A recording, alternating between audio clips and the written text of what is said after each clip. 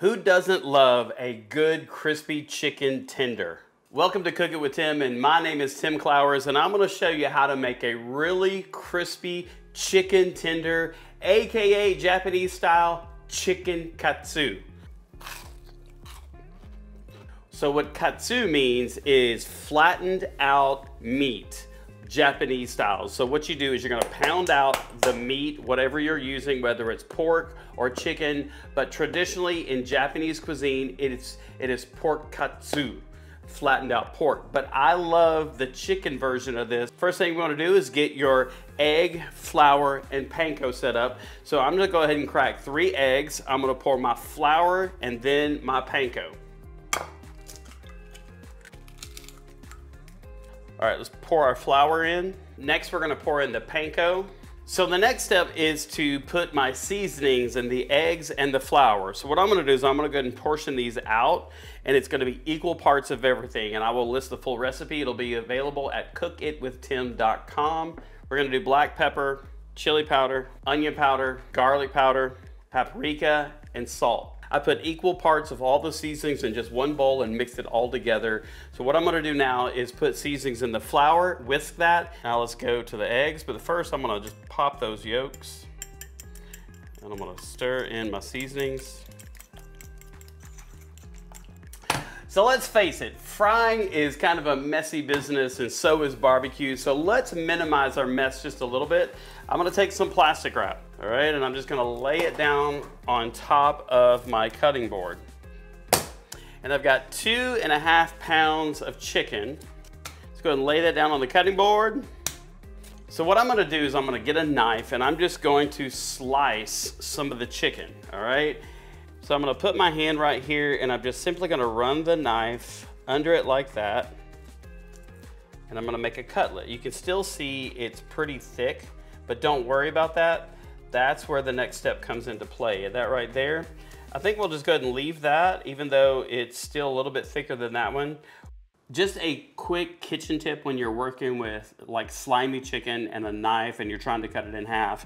If you'll notice when my hand was on the chicken, my fingers were pointed up and I was applying pressure to the chicken that allows you to put pressure on the chicken and allows the knife to slide through it. Now the next step is you're gonna need one of these meat tenderizing tools right here and don't worry, I will have this link down below, but I'm not gonna pound it just like this because it'll get chicken stuff everywhere. So I'm gonna take another layer of plastic wrap.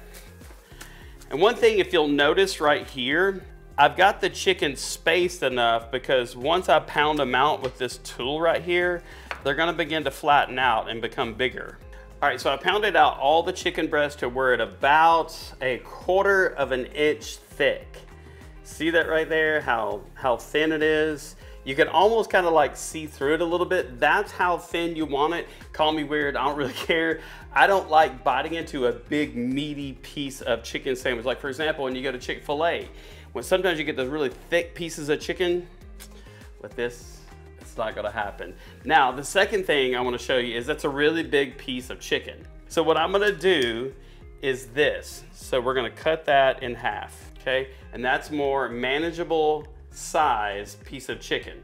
So out of two and a half pounds, that's gonna give us eight big tenders. That's enough to feed at least three people. Depending on how big the people are, you might get more.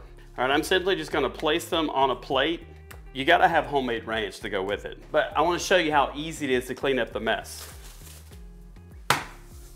Technically, my ranch is not homemade, but I tell you what, the reason that I would encourage you to make this kind of ranch is because it's what over 60% of the restaurants that you go to uses these commercial grade ranch packets. I've been using these for 10 years. I've been using these packets. So here it is, it's Gordon Food Service ranch packet. When it comes to making ranch dressing from packets, one of the key steps that a lot of people miss is getting the seasonings mixed properly and distributed in the mayonnaise. So what I'm gonna do is I'm gonna take the ranch seasoning packet, not the whole thing because it's too strong. This is a gallon mixture. So we're gonna take uh, two tablespoons of the ranch packet seasoning mix and then we're gonna mix it with the mayonnaise and the seasoning. So let's do that real quick. All right, the next step is to drizzle in buttermilk. Okay, so there is the ranch dressing. So what I'm gonna do is cover this and stick it in the fridge for about 10 to 15 minutes while we fry up our chicken. So let's get that done real quick. So let's take our cutlet and we're just simply gonna dredge it in flour. And I'll show you two of these in the flour. And you wanna make sure that the chicken is coated very well in the flour and just shake it off. You know what I'm saying? Shake it off. All right, then down into the egg. This is where it starts to get a little bit messy and make sure that the chicken cutlet is coated well in all of the egg. Otherwise, you'll have trouble with the panko sticking to the chicken. See that little white part right there? All right, so at this point, just let it drip and then over into the panko. I like to put it in there and take the panko and put it on top and then I'm gonna press down. All right, and then I'm gonna flip it over, press down, and just repeat that process. All right, and there we have a beautifully coated chicken tender. All right, let's do one more on camera. So we're gonna take that beautiful piece of chicken cutlet and we're gonna drop it down in the flour. All right, now we're just simply gonna take it over to the egg, drop it in the egg, and this is where I like to get tongs and just kind of tap it down to make sure that you don't see any white part. Just grab it, just let that egg drip off, and then move it over to the panko. So I like to grab the sides and just let it fall on the chicken. And then I'm gonna just press down. And as a double check, what I like to do is just sprinkle a little bit more on the top, press down.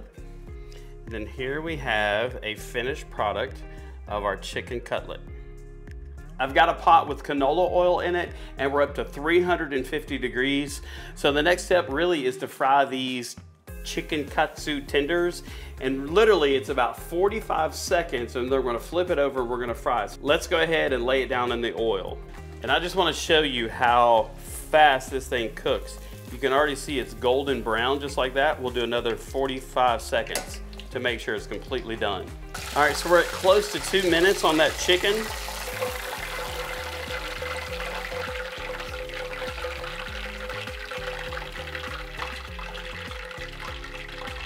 Very important when you're frying chicken, a little bit of sea salt as soon as it comes out of the oil.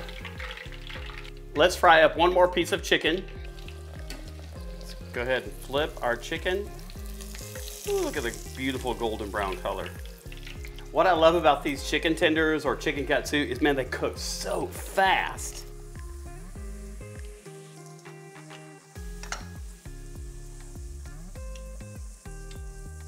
So here is this beautiful crispy chicken tender, AKA chicken katsu. This is one of the most favorite things that my daughter says that I make for her. It's crispy, it's delicious. Let's just try it.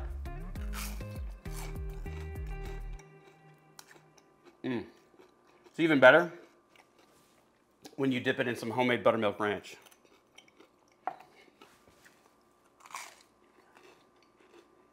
All right, that wraps it up for this video recipe. Be sure to like this video, make a comment, share it, and also visit my website at cookitwithtim.com to get the full detailed, typed out, printable recipe. I'll see you next time.